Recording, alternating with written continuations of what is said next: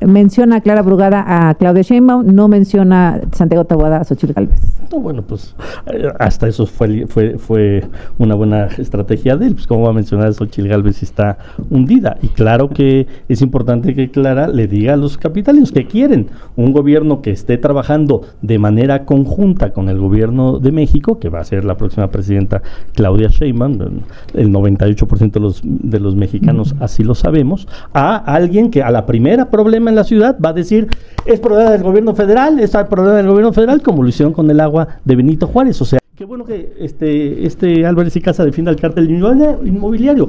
Tabuada en el periódico El País dijo, no voy a meter las manos al fuego por nadie en el caso del cártel inmobiliario. y después dicen que es una mentira. Es una narrativa que, todo, que todo es un perverso y que no es verdad. claro que es verdad. Nada más que un día, dicen, un día dicen no vamos a defender y otro día dicen es persecución política. Transformación pacífica del país. ¿Qué tal amigos y amigas? Bienvenidos a una nueva video información más. Bienvenidos a su canal Pregoneros 4T. Les enoja muchísimo a estos peronistas, a estos voceros tanto de Xochitl Galvez como de Santiago Tajada, Santiago Tabuada, que el día de ayer le volvieron a dar donde más le duele con el tema del cártel inmobiliario. Y aquí César Cravioto en esta entrevista, en este debate, en el programa de Susana Noresti, se lo vuelve a mencionar a Emilio Álvarez y Casa, a este vocero de Santiago Tajada y también de Xochitl Galvez. Vamos a escucharlo, mis estimados proneros, eres un corrupto y vean nada más, menciona o así defiende a Santiago Tajada, son puras mentiras todo este asunto del cártel inmobiliario de los panistas ahí en la Ciudad de México, no supo dónde esconder la cabeza Emilio Álvarez y Casa. Este personaje, sí, que pues pertenece según o es líder de estas asociaciones de eh, la sociedad civil, mis estimados amigas y amigos pregoneros, de Claudio X González y compañía mejor, desde la vez pasada lo, habíamos dicho, más claro, más oportunidad para que los propios candidatos, la candidata se expresen. Y ojalá que el presidencial sea menos rebuscado que el primero, ahora el segundo que ya viene. Y pues muy bien, Clara, muy bien, eh, habló de todo el ciclo del agua, de cómo va a fortalecer cada una de las etapas del ciclo del agua y denunció lo que hemos venido diciendo, que Taboada trae dos temas con el tema del agua. Primero la privatización, ahora ya en dos vertientes, darlo a empresas privadas y darle las pipas al, al cártel este del sindicato Libertad. Y después en el otro tema que tiene, y bueno, y ahora, y el propio Taboada soltó en la mesa deuda, o sea, aguas habitantes de la Ciudad de México, para los negocios de Aguada, quieren regresar a esto de endeudar la Ciudad de México. Entonces, esos son los planteamientos de Taboada en el tema del agua. Y eh, del tema de corrupción, bueno, pues la verdad es que yo estuve en dos o tres eh, reuniones viendo ahí todo el tema del debate con Clara y era muy complicado, o sea, había tantos temas de corrupción de Taboada, pues que era difícil este, escoger cuáles se iban a hablar en, en, tan poco, en tan poco tiempo. Lo que sí queda claro es que 38 años de edad, siempre siendo servidor público y es millonario. O sea, que esa lógica panista de que si no llegas a cierta edad y no eres millonario, eres un güey, pues ya llegó para quedarse. En las épocas del PRI es pobre político, eh, político pobre, pobre político, y en las épocas del PAN eres un güey si no utilizas los cargos públicos para hacerte millonario. O sea, Taboada escogieron a un candidato corrupto en la Ciudad de México y por eso no han podido avanzar como ellos pensaban después de su buen resultado en el 2021 por escoger un candidato muy corrupto. Eh, definitivamente Santiago Tahuada no solo ganó arroyo en el debate. Y es, es, es maravilloso cómo viene acá César Claviota ¿verdad? de corrupción del brazo de René Bejarano. El, en Coyoacán, Miguel Hidalgo, en Iztapalapa, en Tlalpan. René Bejarano, para que no recuerde, hablando de generaciones pasadas. el, señor de las ligas, hace 20 ese años. que financiaron. Bueno, eh, en las empresas declara que construyeron Utopía, que movieron al menos 250 millones de pesos. El particular de Bejarano ya está metido. Ahora justamente aquí se- en Radio Fórmula se enseñaron la ligación de las empresas. Y por eso es importante, porque no tiene ninguna autoridad para hablar de corrupción. René Bejarano es eh, un, un cuadro muy personaje, muy importante. impo- un operador político del- por de la excelencia, izquierda, de- eh, muy de- cercano de Morena. del presidente. PRD, Y- del- y- del- de del- Morena. del Está- partido que pertenece a Está en Morena. Está en. Morena. Ahora está en Morena. Está en. Morena, se mueve con Morena, Y opera salió con un video Morena. por ahí recibiendo dinero. dinero icónico. Nada más vean las ligas y si no vean la 20 cuenta de Santiago por Y también para regresar a lo es que me muy decías. importante, Ujú. justo a las operaciones encubiertas de Clara, eh, es la verdad es que uno se pregunta, si han gobernado tantos años, ¿cómo les vamos a creer? Clara gobernó nueve años Iztapalapa, el agua sigue siendo un desastre en Iztapalapa, entre agua que Benito Juárez. En, en la ciudad no existe el fenómeno de un agua, al contrario, estamos en una crisis hídrica. Eh, estos que hablan de transparencia son felices Morena con las adjudicaciones directas, dinamitaron el sistema anticorrupción, dinamitaron los controles, no les gusta el INE. Ayer fue una clarísima demostración de lo que dice y hace Morena, porque lo que hace no tiene nada que ver con lo que dice. Y nada más hay que ver la cara con la que terminaron. Vean por favor las fotos de las conferencias de prensa de los de Morena, desencajados, descompuestos, absolutamente perdidos, pues porque Clara estaba perdida. ¿Sienten que les fue mal en el debate, No, senador nos fue Cravioto? muy bien, nos fue muy bien. Pero miren, tan, no tienen nada contra Clara que sacan a un personaje y a, y a un hecho de corrupción de hace 20 años. No, nosotros no sacamos. Que ni- sigue vigente. Nosotros no sacamos ni hablamos de otra persona más que del candidato actual del PRI y del PAN para jefe de gobierno de la Ciudad de México, que se llama Santiago Tabuada y que es un corrupto. Eso es lo que decimos. A diferencia de ellos que tienen que sacar un personaje de hace 20 años, nosotros no sacamos un personaje de hace 20 años, estamos hablando de las corruptelas Lo que de decimos es que como y vamos mienten. a ver, vamos Si a ver, mienten, pues no se vamos les a ver cree. las corruptelas de Tabuada. No se les cree. Varias, porque pues no las pudo sacar todas. A ver. Este, claro. pues claro, porque Su- está confundidísima. Su, declaración patrimonial.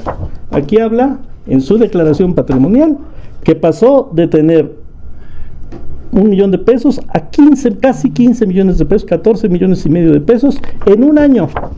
En un año. Y aquí vemos por qué.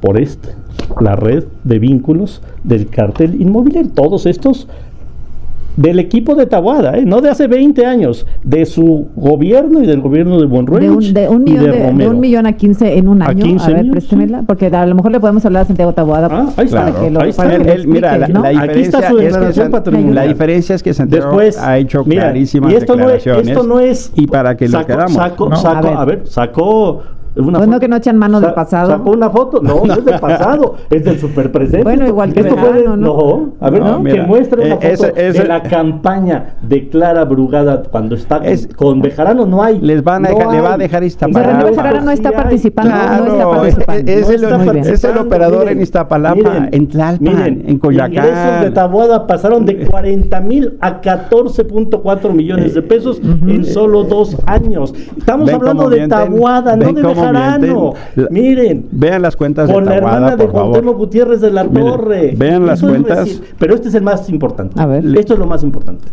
Cártel inmobiliario. No es el pasado solamente. Con Jorge Romero, 2012-2015, 27 inmuebles irregulares, 68 pisos accidentes. Con Cristian Bonrueni, 58-118. Con Tabuada, 2019-2022, 40 inmuebles irregulares, 66. el aparato que han creado de mentiras ex- es extraordinario. no, sí. es extraordinario. Ah, Todo el me- aparato de mentiras. mentiras. Mira, en lugar de utilizar la Ah, fiscalía para proteger mentiras a y ya están pues, mentiras. Pues esta es la misma a ver, fiscalía, déjame la escuchar, déjame- senador en la cárcel y están sentenciados y son mentiras. Claro. El poder El judicial aparato. que tanto defienden los sentenció a varios de ellos y tienen órdenes de aprehensión varios de ellos. El poder judicial, Mira. no la fiscalía, el poder judicial. Hay una enorme Son diferencia. unos ver. corruptos. Hay una enorme Son unos corruptos y qué bueno que Álvarez y Que- Casa los defiende. que- Qué bueno. A ver, senador Si, Álvarez y al- si Casa. alguien, por supuesto, tiene algo que la justicia está que se presente, a diferencia de No, ellos con la absoluta impunidad ya se de serranía. de- mira, yo Aguántame sé- tantito, presentó. aguántame, yo sé, senador yo Cravioto. sé que A les ver. preocupó el debate ayer, ahora déjame hablar. O sea, No, claro no, que no. vienes a presentar lo que no pueden hacer, No, porque no, han construido una narrativa mentirosa.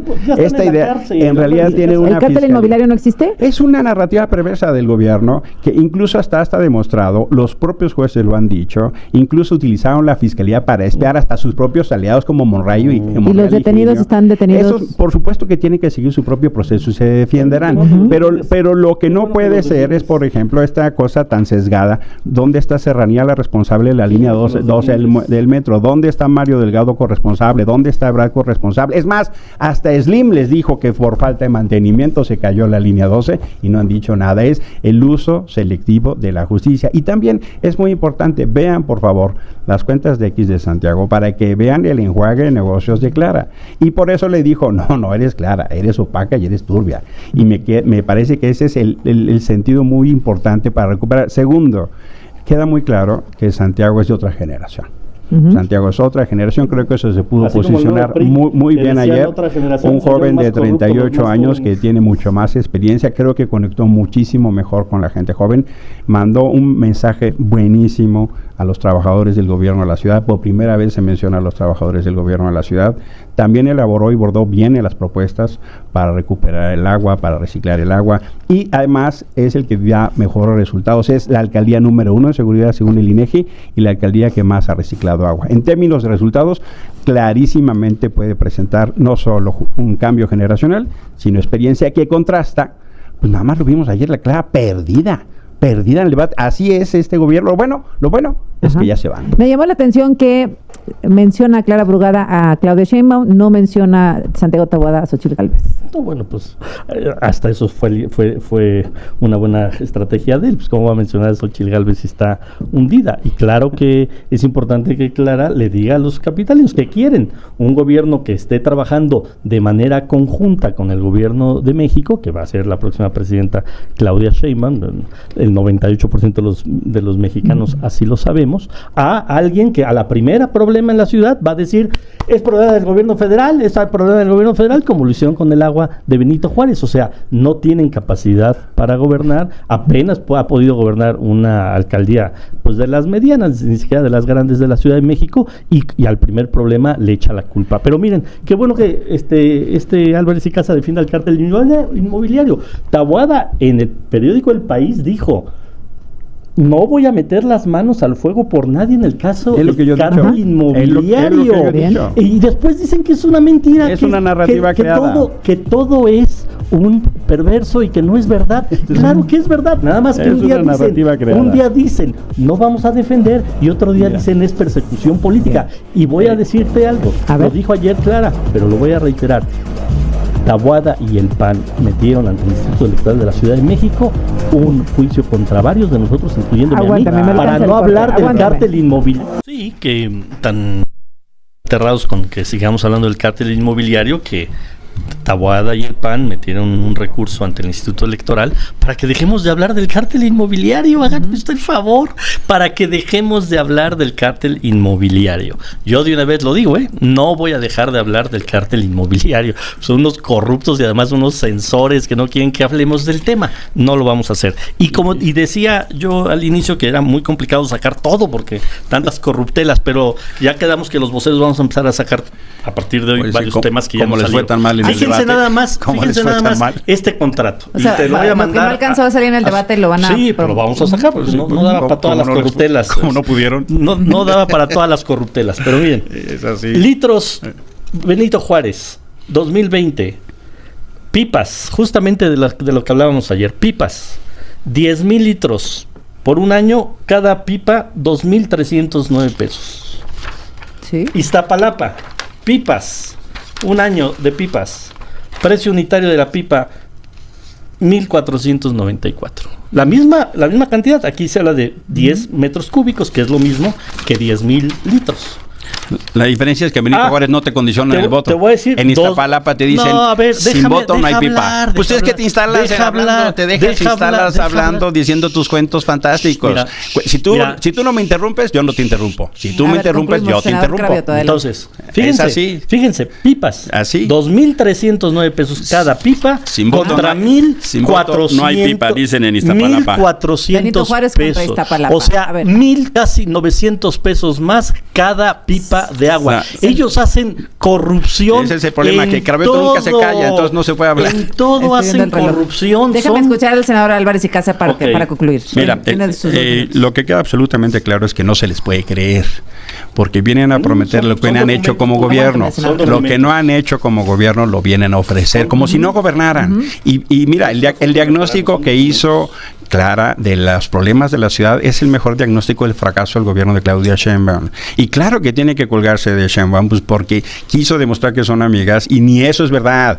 O sea, es más, en, en el set los periodistas hasta se rieron cuando se, mira, tan mientes quien eres amiga de Claudia. Y claro que tiene que re- tratar de reivindicarlo por estrategia, pues lo que queda muy evidente es que no se les puede creer porque no lo han hecho. O sea, tantos años gobernando y no lo han hecho, ni en el agua, ni en la seguridad, el metro se cae a pedazos. Eh, eh, solo vean la ciudad, porque quién sabe en qué ciudad viven. La segunda cosa que es muy importante es que Santiago es parte de una generación distinta, que entiende la ciudad distinto, que se mueve distinto, que tiene los mejores resultados como alcalde. Y lo tercero es que es muy importante poner en consideración esta narrativa de los aparatos del gobierno, porque para eso sí son gobierno, para perseguir a la oposición, para atacar todos los papelitos que traen, se los da el gobierno. Es en realidad un gobierno y también ah, mal y chiquito, es... eh, eh, Martí Batres convertido en jefe de campaña. Ya, es así. ya te instalaste y, mucho en el y- micrófono, y lo, y lo que eh, están viendo el tiempo. dices. Entonces, lo que yo te diría ayer, te por supuesto que No ganó el debate y por eso les preocupa.